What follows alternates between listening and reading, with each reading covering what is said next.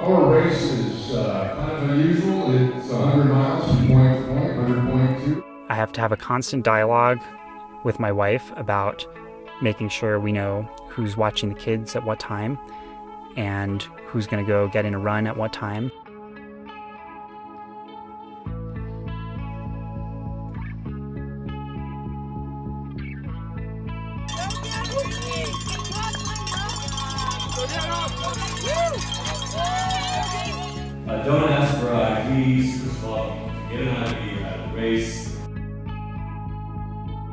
Just establishing balance is always difficult because we all just have so many competing priorities in our life.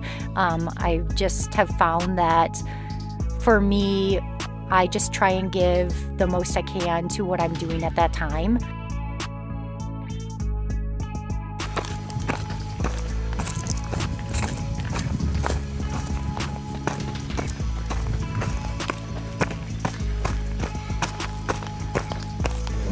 Keep yourself wet, lots of ice.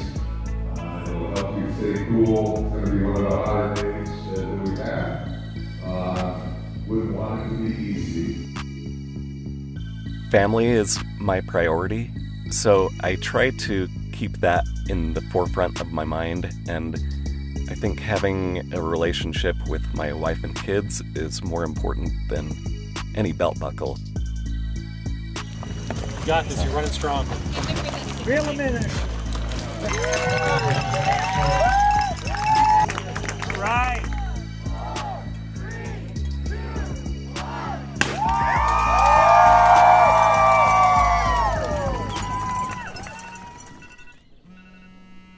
Trying to balance a career and family life with ultramarathon training isn't as hard as a lot of people seem to think it is. Because really, even at my peak training weeks, I'm only running about 15 hours a week.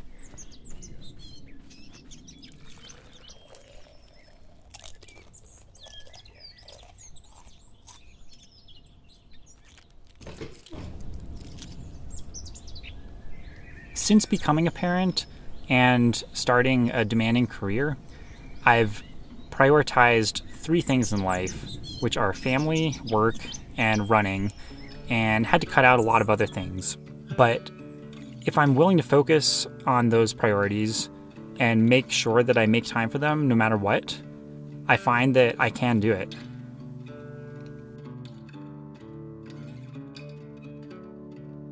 In my day to day life, my top priority has to be my family, and second after that has to be my job.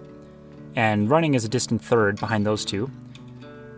But I found that almost any week of the year, I can find time to make it happen and get in my training if I commit myself to doing it.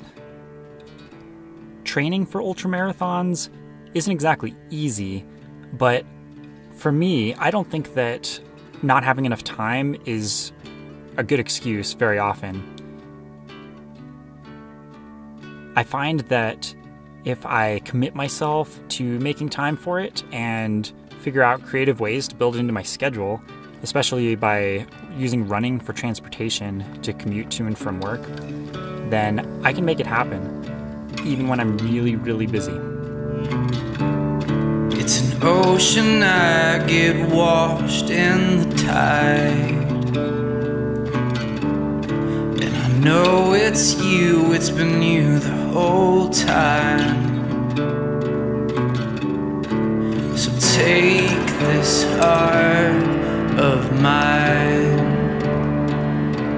Show me what it means to love someone till you die.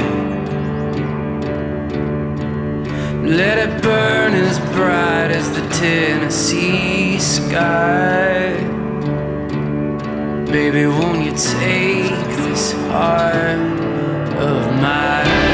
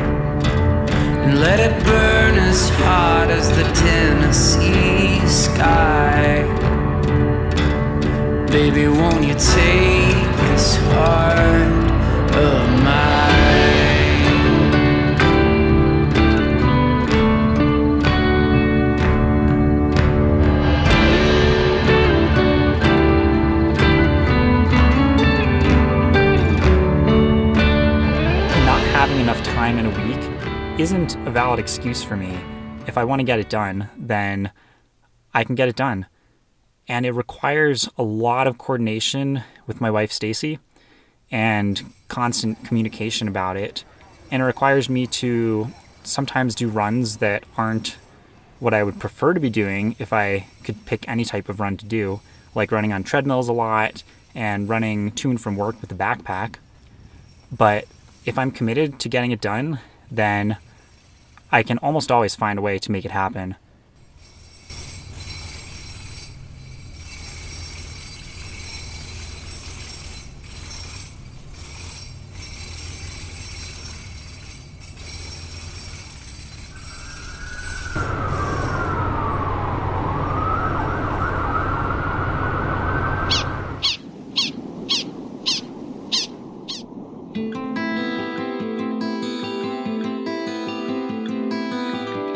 Establishing balance is always difficult because we all just have so many competing priorities in our life. I just have found that for me, I just try and give the most I can to what I'm doing at that time. So, whether it's work at the time, just giving the most I can to that part of my day, or whether it's running, giving the most I can to charging up the trail, or even just in a relationship, spending quality time with the person. I think it's just kind of giving the best you can to that element of your day. Honestly, I don't think it's that much different than a normal couple. Um, I think we're really supportive of each other. So I think it is kind of nice to know somebody's going through the same thing as you are. Um, and I think that element of it makes gives me comfort because I know that Zach will be up ahead of me, and I know I want to get to the finish line as quickly as I can um, to kind of tell him about the race. So while it's a little difficult not having him there to run with me and pace me, it's just nice knowing that he's actually in the race as well. Western States is one of the ultimate challenges. So just I think I've run the gamut here. I've not started the race. I've not finished the race, and I've um, been able to finish in the top 10 a couple times. So for me, it's kind of the ultimate challenge just to see what I can do on that day.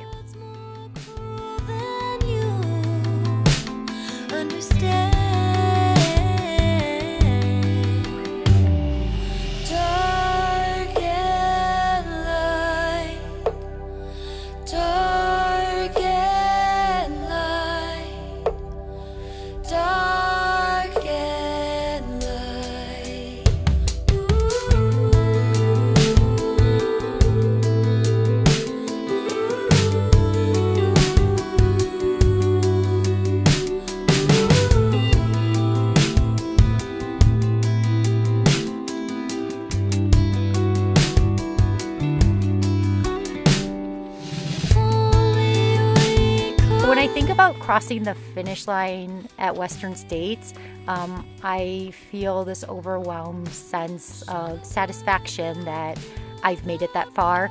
And also, I just feel this sense of relief.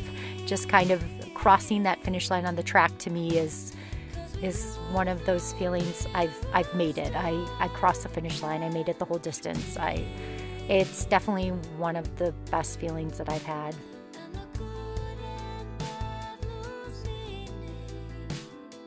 This race is very special because it's such a great opportunity to test yourself against some of the world's best.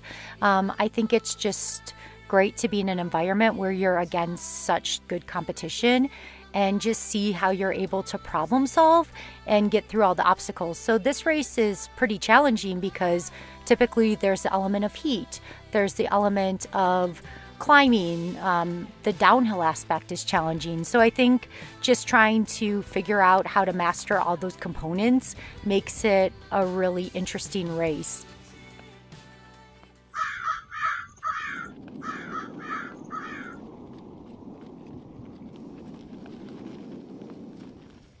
I am a husband and father and a social worker and a runner. And I, I try to kind of balance all of those things. Family is my priority, so I try to keep that in the forefront of my mind.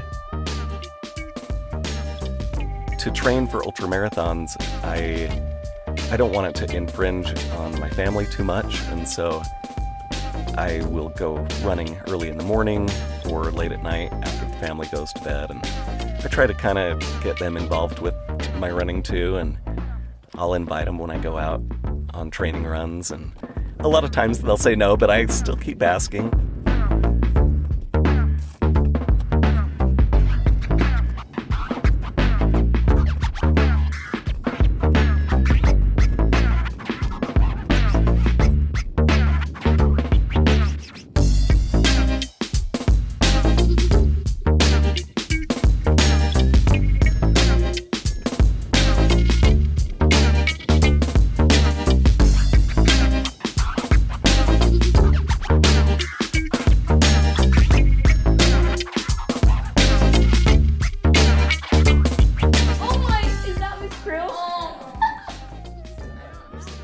I think it's important to keep family right there on top of the priority list.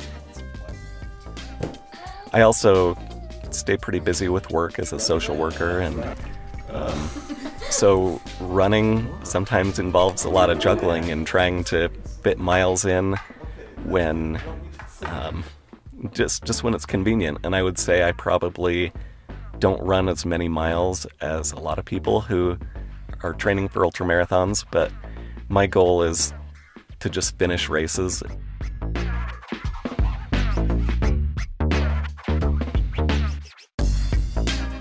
I think it's really important to eat healthy. I think it's important to get the nutrients and, and vitamins that you need to sustain. And so I, I really try to do that. I eat really healthy, but I also balance that out with a, pretty good sized sweet tooth.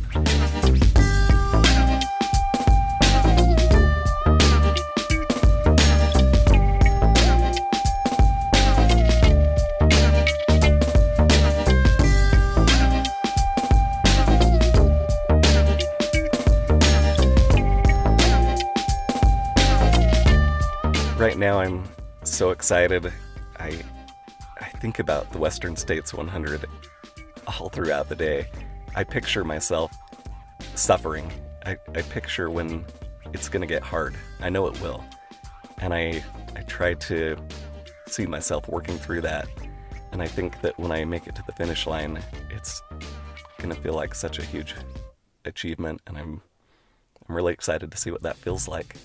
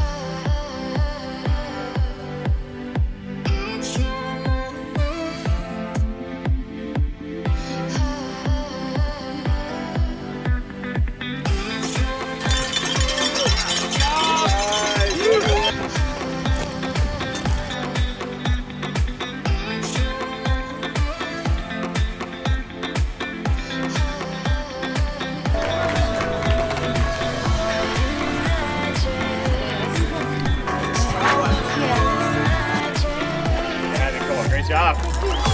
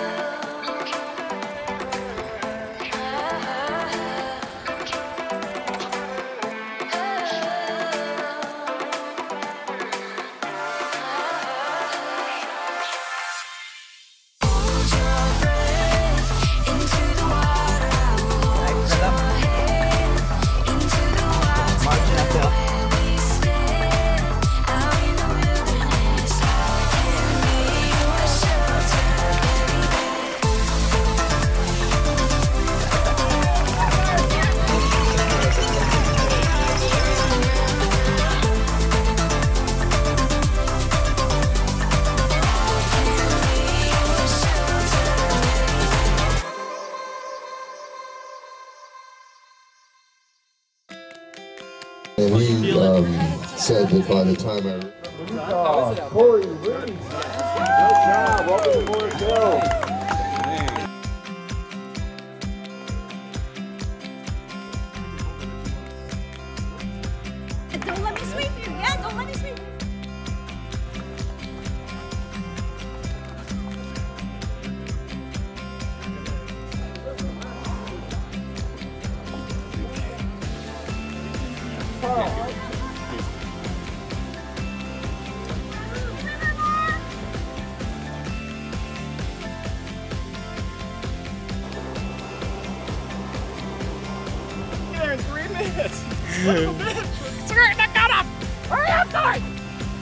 Yeah, Corey.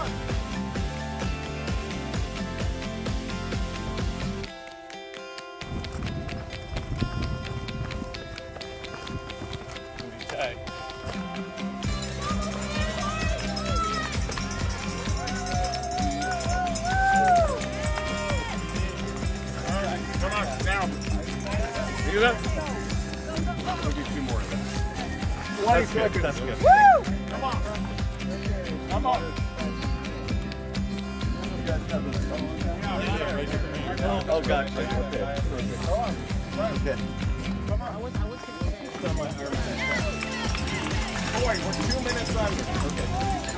So Thank you, guys. Woo! Thank you. Nice, dude. Yeah, thank you.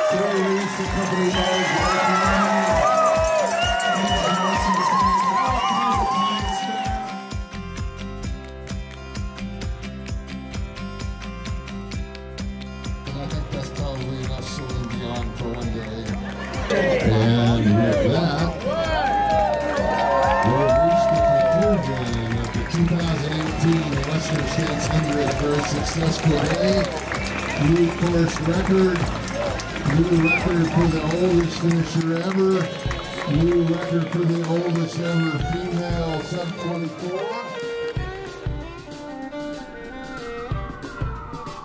The Western States 100 is brutal and hot and hilly and dusty and incredibly beautiful.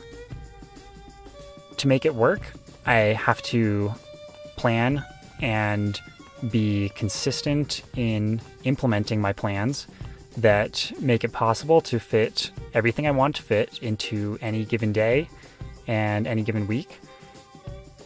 like balancing life, giving your best from one aid station to the next. And how do I make it there? Just kind of giving your all for that portion.